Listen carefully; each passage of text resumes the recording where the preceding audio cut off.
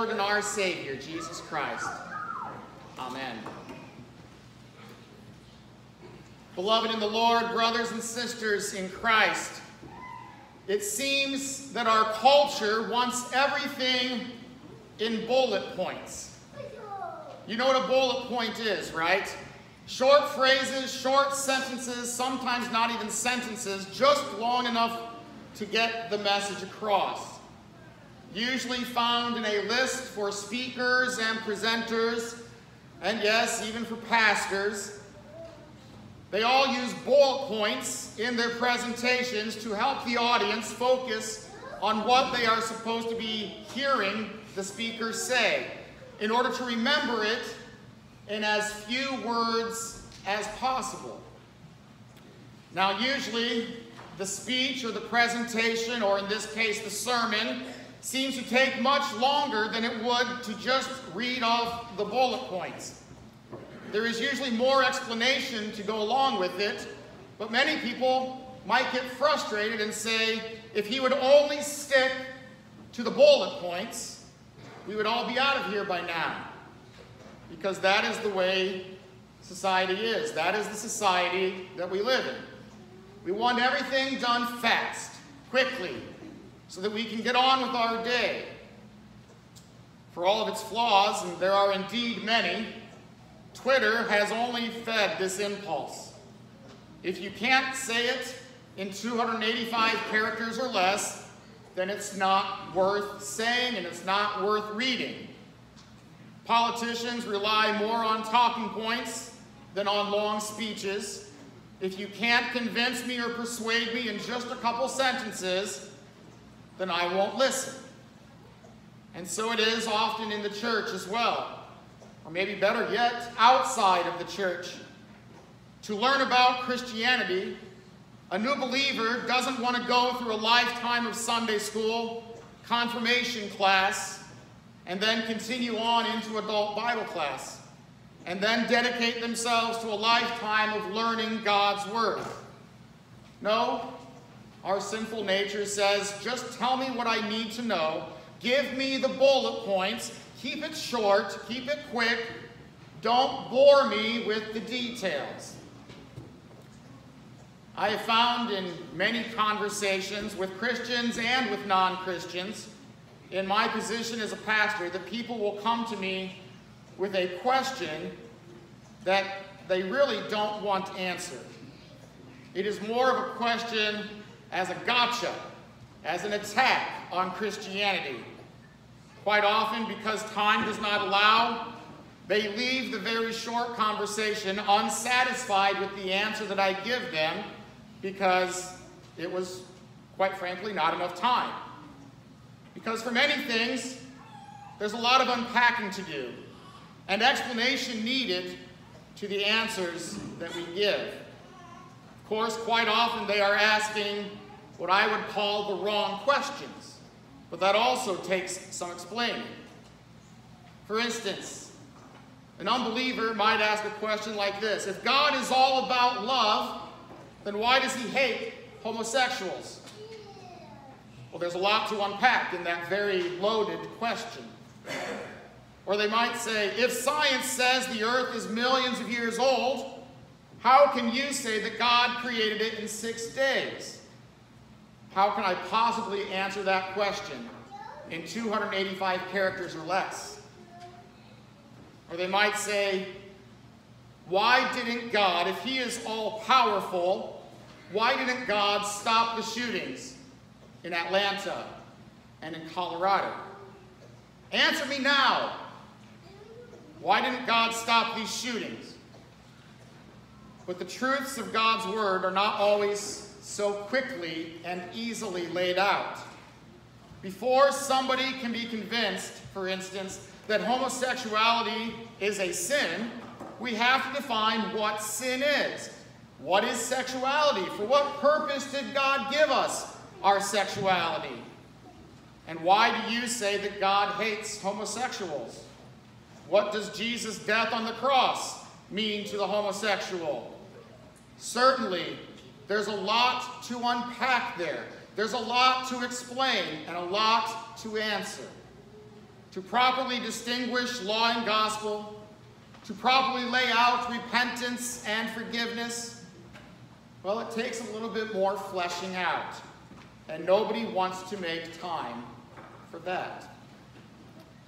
Even many in the church want shorter sermons, shorter Bible readings. You didn't get that this morning. Shorter services. Yes, our gospel reading today, the complete chapter of Mark 15 laying out the whole passion of Jesus. It wasn't short, but it is necessary for us to be reminded of what Jesus suffered for us. But if we were to keep it to 285 characters or less, what would the gospel look like then? It is our tradition for confirmations to assign and select confirmation verses. A verse from Scripture that summarizes the Christian faith, that summarizes, excuse me, summarizes the gospel message and the Christian life. Our confirmation verses are like bullet points, short, pithy statements that we will carry with us for the rest of our lives to remember God, Jesus, and his love for us.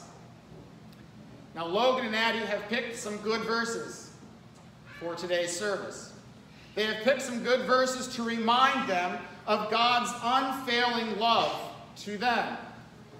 Logan is reminded that nothing can separate him from that love of God.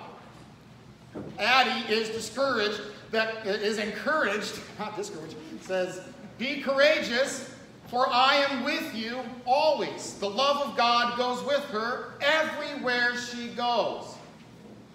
Yes, these are wonderful verses. But to explain that love of God to an unbeliever, we still might need to unpack some things in those verses. Why do we need not fear? Anything can separate us from the love of God. Why do we know that God is with us wherever we go? Perhaps we need more explanation. Many years ago, there was a man with a rainbow afro wig who would go to major sporting events and hold up a sign. Remember what the sign said?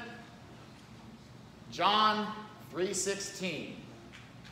The gospel in a nutshell, right? For God so loved the world that he gave his only son so that whoever believes in him may not perish, but have eternal life.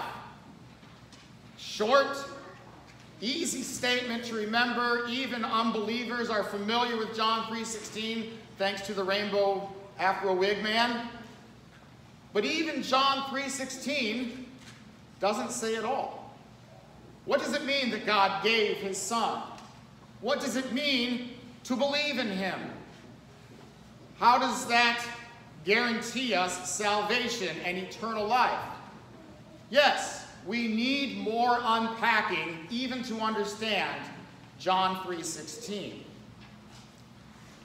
And so, let me present to you our epistle reading today. Our epistle reading from Philippians chapter 2 might be, if any, the best gospel in a nutshell statement, the best summary of Christian faith, of the Christian life, and certainly what Jesus has done for us and who Jesus is.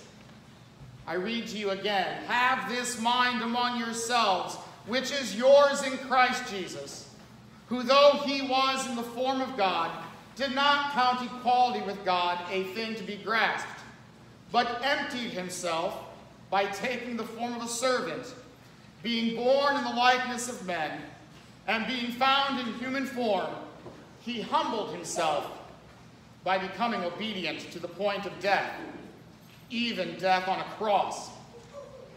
Therefore God has highly exalted him and bestowed on him the name that is above every name, so that at the name of Jesus every knee should bow, in heaven and on earth and under the earth, and every tongue confess that Jesus Christ is Lord to the glory of God the Father. There it is, brothers and sisters in Christ, who Jesus is, what he has done, and what our response is in this Christian life. Jesus is the one who was incarnate, born in the likeness of men. He is the one who has humbled himself, emptied himself to take on human nature, even though he was in the very nature God. He did not consider equality with God a thing to be grasped. And yes, he is the one who by his death has paid the price for your sins and for mine. And because of this, God the Father has highly exalted him. He is the exalted one. You guys remember this? State of humiliation and the state of exaltation, right? Here it is, right here in Philippians chapter 2. Jesus is exalted. He is lifted up. He is glorified by his death and resurrection. And on his second coming, brothers and sisters in Christ, every knee will bow and every tongue will confess that Jesus Christ is Lord. Everybody, the unbeliever and the believer alike, will say, Jesus is the one true God. But we have the opportunity to confess it in this life. We have the opportunity to kneel before the altar of God and to confess our faith before his congregation and church. We have the opportunity to proclaim our faith so that when he comes again, we will be counted righteous and worthy of eternal life. Because we have not denied Jesus in this life, he will not deny us before his Father in heaven. And yes, he will give you white robes of righteousness in which you will reside in the kingdom of heaven for eternity. Yes, every knee shall bow, every tongue will confess. But today, Logan and Addie kneel before their Lord, and they confess their faith before his church. Praise be to God that he has called them his own in their baptism, in which he gave them that white robe of righteousness. Praise be to God that they have continued in that Christian faith which they confess today. And we pray to God that they will continue to walk with Jesus throughout their lives until he comes again to call them to himself. In the name of Jesus, amen.